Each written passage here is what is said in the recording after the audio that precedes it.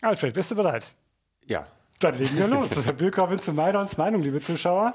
Heute wollen wir zu Beginn mal klären, ob es das jetzt mit der Korrektur am Gesamtmarkt schon wieder war oder nicht. Wir haben ein bisschen ja, unsichere Zeiten zuletzt gehabt. Wir haben in der letzten Woche gegen Ende der Woche ja gesehen, dass gerade die Tech-Werte stark unter Druck waren. Gestern haben wir jetzt, gut, bei, bei DAX und Co. einen, einen Allzeithoch wieder gesehen.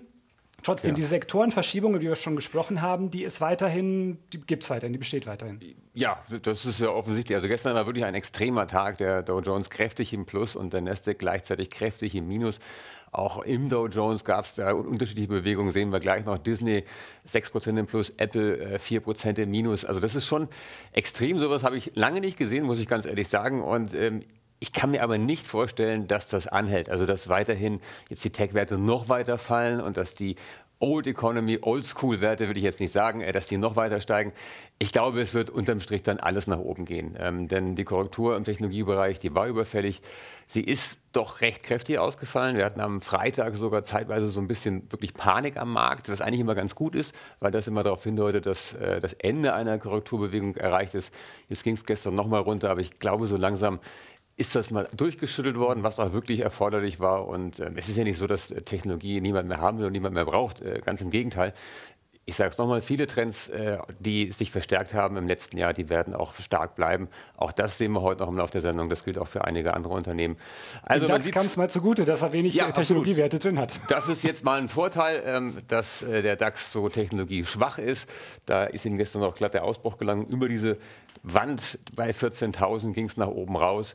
Ähm, es gibt aber auch ähm, gute Werte im DAX, werden auch nicht viele. Sehe ich zumindest so, das mögen andere anders sehen. Aber tatsächlich ist natürlich toll, wenn der deutsche Aktienmarkt auch einen Rekordhoch macht. Es soll ja in dem Jahr auch noch aufgestockt werden. Dann werden, glaube ich, 45 Werte im DAX sich befinden und dann ist bestimmt auch noch ein paar Werte mehr dabei, die du auf die Watchlist ja. zumindest ja. setzen würdest. Wir gucken mal auf den Dow Jones. Auch da haben wir einen Rekordhoch gesehen.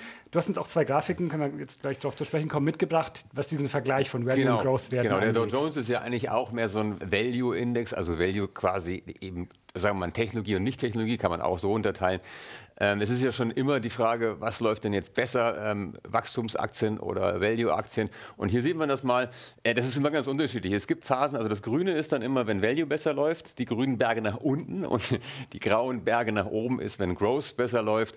Und da sieht man das in den Jahren so 2000 bis 2007 lief halt Value deutlich besser und ab 2007 eigentlich fast durchgängig mit einer kleinen Pause 2015 ähm, waren dann ähm, Wachstumsaktien, die die besser performt haben.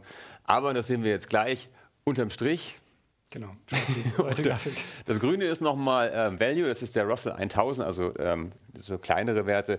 Ähm, das Grüne ist Value, genau das Graue ist Wachstum und da sieht man, dass es zwar immer Differenzen gibt, aber am Ende ist die Performance relativ ähnlich, äh, die Wertentwicklung.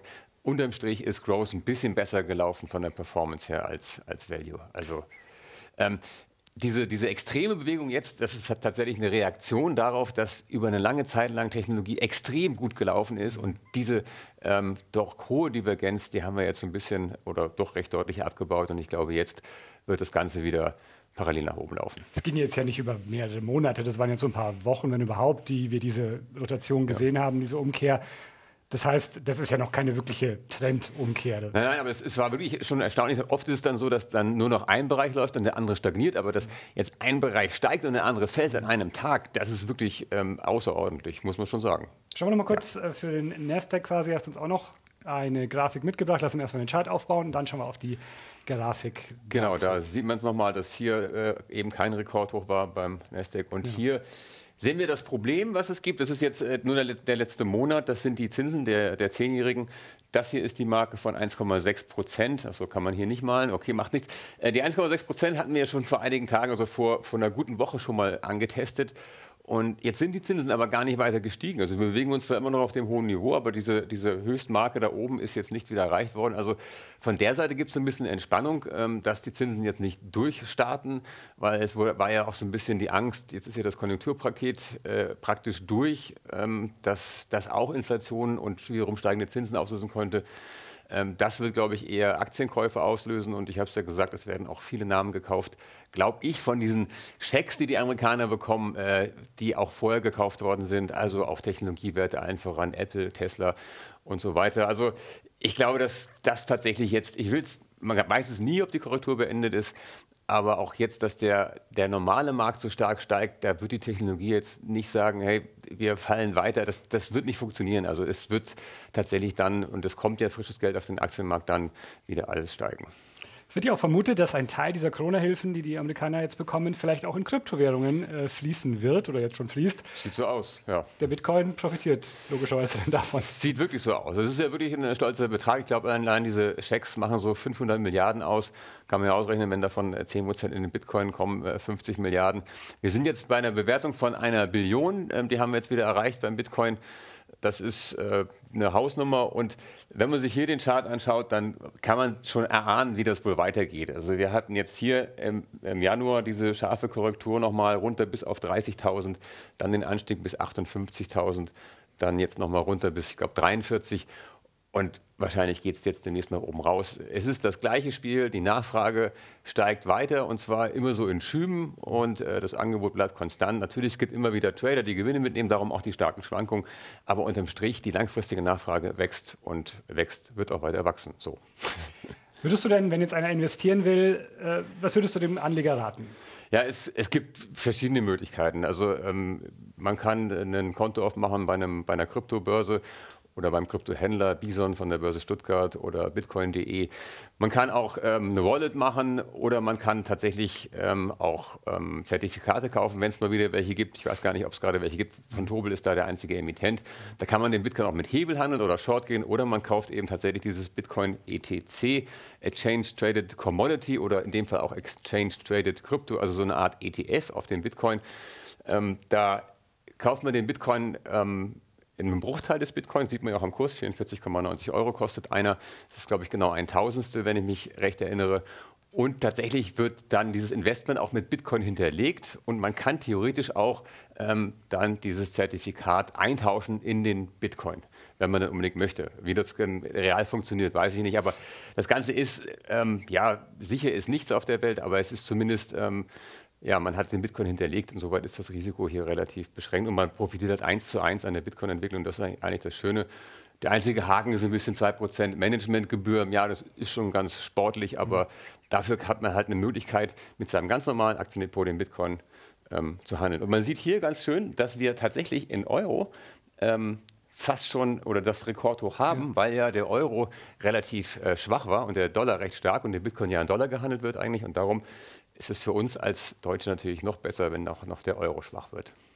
Jetzt schauen wir auf ein paar Einzelwerte, die du uns mitgebracht hast. Wir haben schon ein paar Mal an dieser Stelle über Invisible gesprochen. Du hast auch einmal, schon einige Zeit her, so ein, so ein, so ein Bild mitgebracht, wie man gesehen hat, dass die intelligente Beschilderungslösungen herstellen oder genau. versuchen. Jetzt gab es aber auch tatsächlich aktuelle News.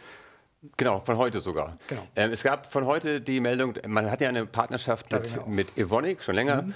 Und ähm, jetzt hat man das erste Produkt quasi zusammen entwickelt, und zwar mit Evonik und mit ähm, Epishine. Epishine macht äh, Solarzellen, die so biegbar sind auf einer Folie.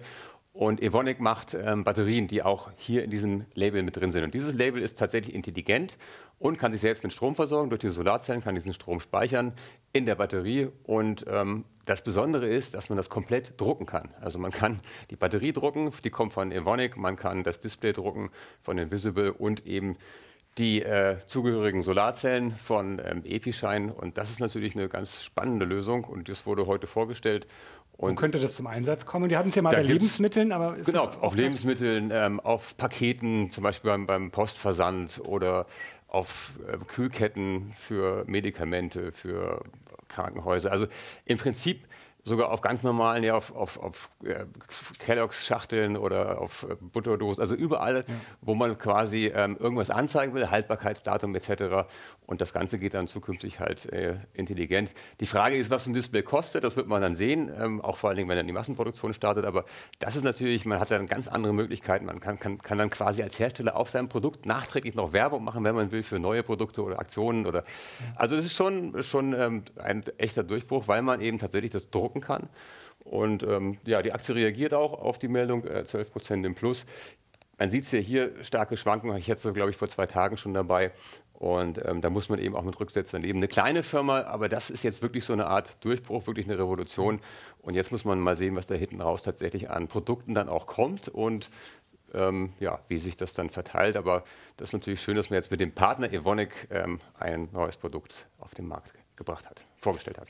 Bevor wir gleich auf ein paar der, der neuen äh, Tech-Aktien noch blicken und die Korrektur, die wir da gesehen haben, gibt es erstmal einen Old Economy-Wert, das ist so ein Oldschool-Wert, wie du gerade meintest. Die Post hat nämlich Zahlen vorgelegt und auch einen Ausblick gegeben, Dividende angehoben. Was sagst du zum Zahlenwerk? Ja, unglaublich. Also alles rundum ähm, toll. Und die Post ist ja quasi so eine Art ähm, ähm, wie sagt man, Twitter, also so ein Zwei.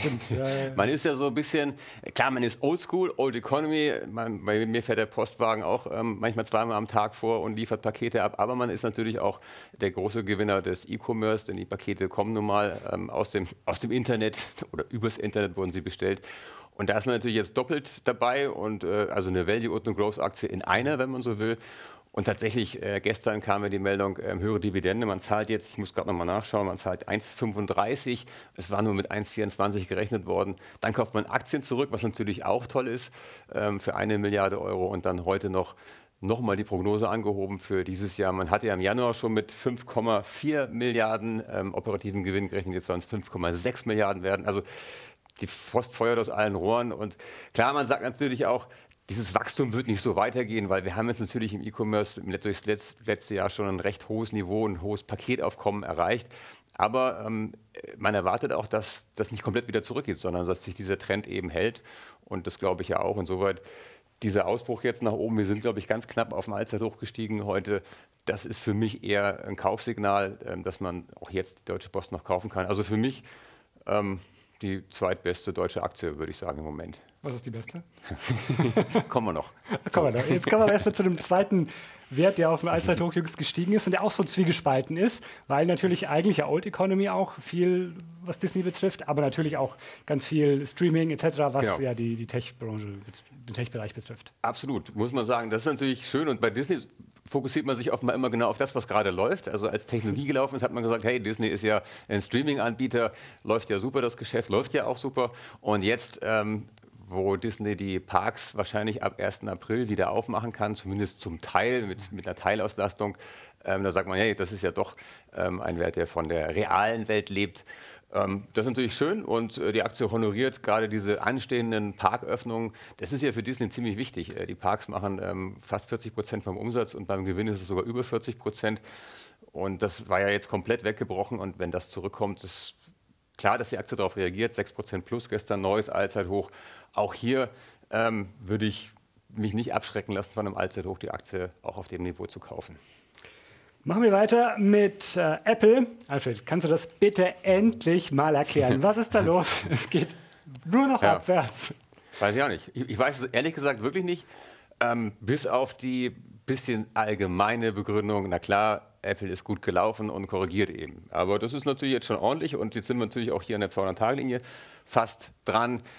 Aber auch hier, ähm, wie auch für den Gesamtmarkt, Apple ist ja sowas wie der Gesamtmarkt, ähm, bei dem Börsenwert übrigens erstmals seit ähm, Monaten oder Wochen wieder unter die 2 Billionen Dollar Marke gerutscht, jetzt auch die Aktie. Vielleicht ist das ja auch ein Kaufsignal, wer weiß.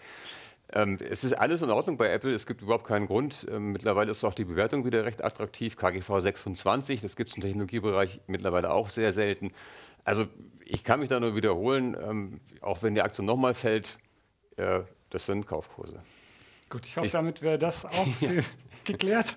Schauen wir auf äh, Tesla an dieser Stelle. Auch da natürlich die Korrektur, die wir zuletzt gesehen haben, Thema. Aber du hast uns auch äh, Zahlen, Verkaufszahlen oder eine Grafik zu Verkaufszahlen des vergangenen Jahres mitgebracht. Ja, ähm, das ist soweit, man sieht natürlich, der größte Balken gehört natürlich Tesla, das sind die verkauften Elektroautos, wobei man sagen muss, das sind die Plug-in-Vehicle-Sales, also da gehören alles, da gehört alles dazu, was einen Stecker hat, also auch Plug-in-Hybride.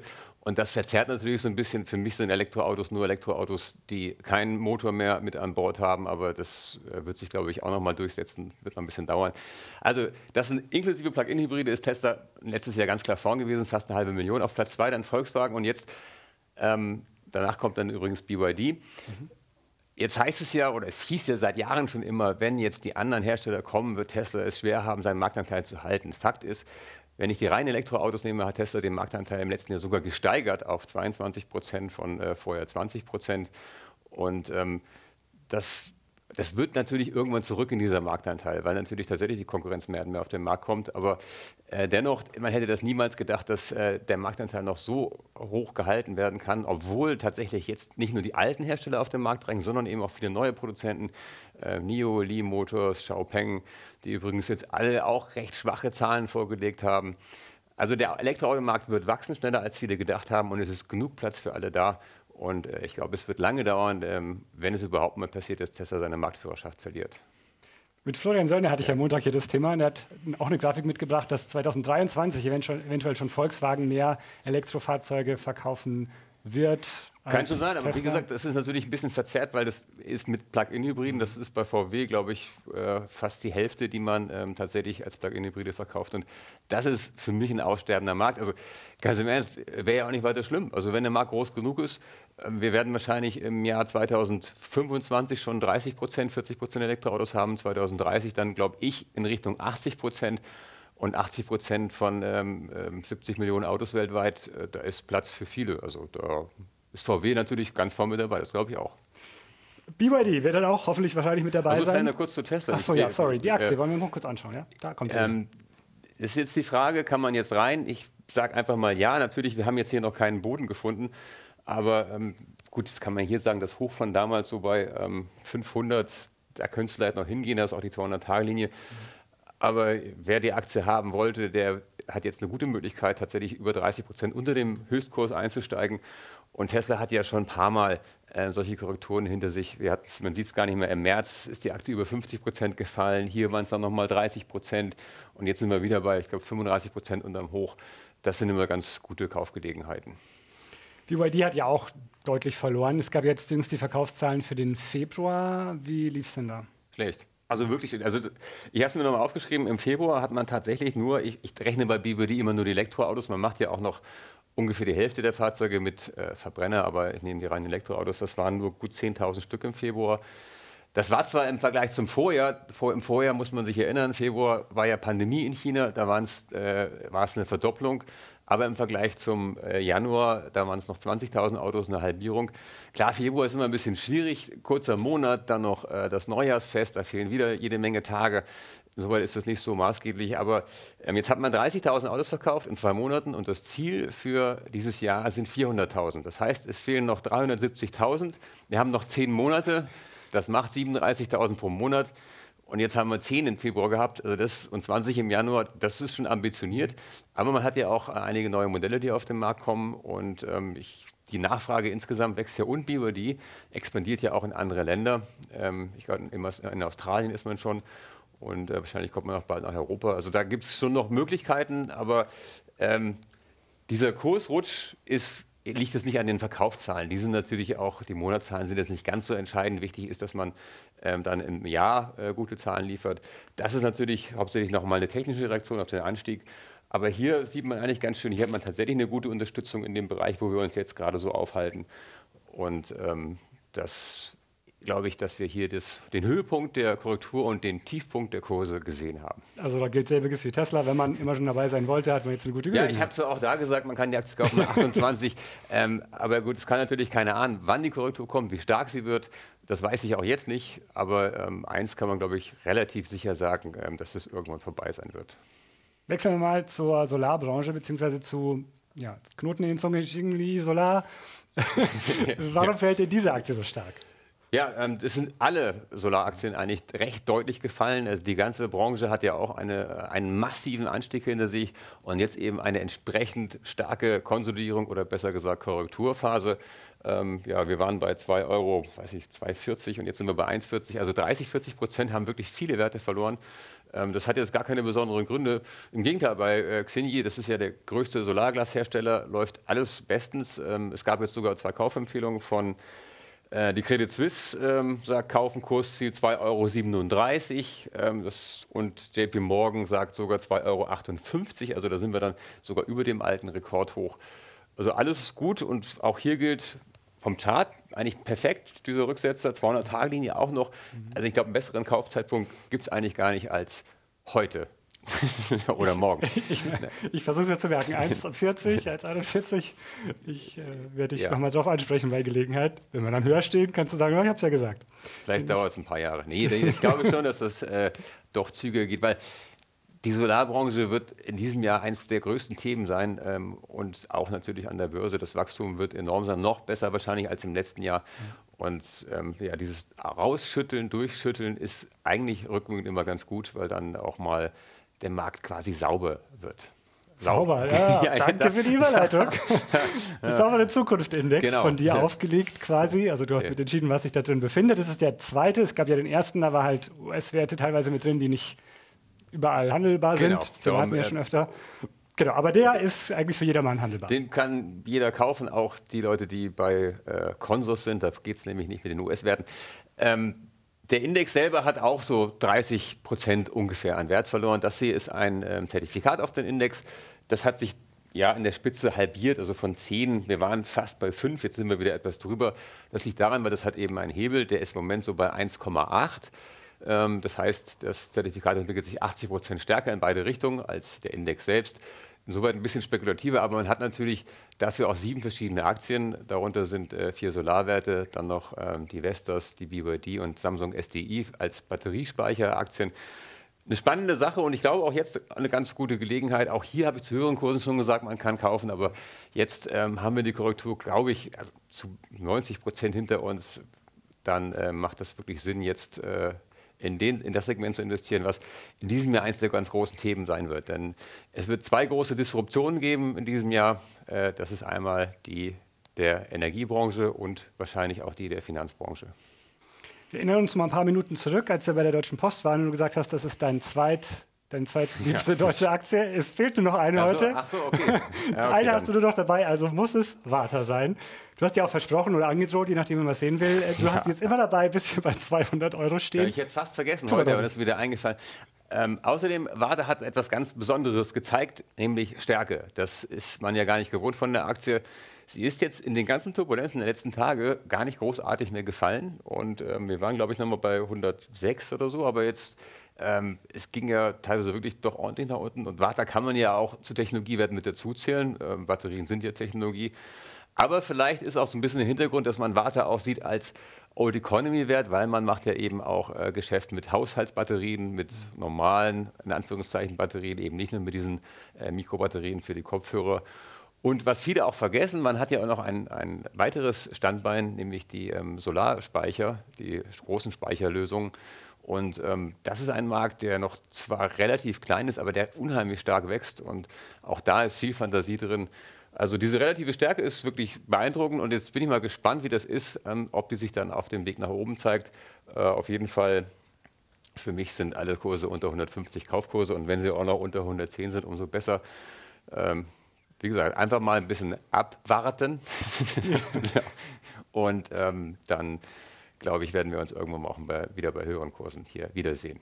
Gut, aber unterdessen ja auch. Also selbst wenn wir noch unter den ja, also das ist aber schon mal, schon mal ist doch auch nicht schlecht, wenn Aktien im schwachen Umfeld nicht fallen, ist doch Richtig. auch gut. Natürlich ist es schöner, wenn sie im guten Umfeld auch steigen, aber das werden wir dann ja sehen. Gut, das war's für heute. Dankeschön, gerne. Alfred. Wir sehen uns gerne beim nächsten Mal wieder. Liebe Zuschauer, machen Sie es gut. Auf Wiedersehen.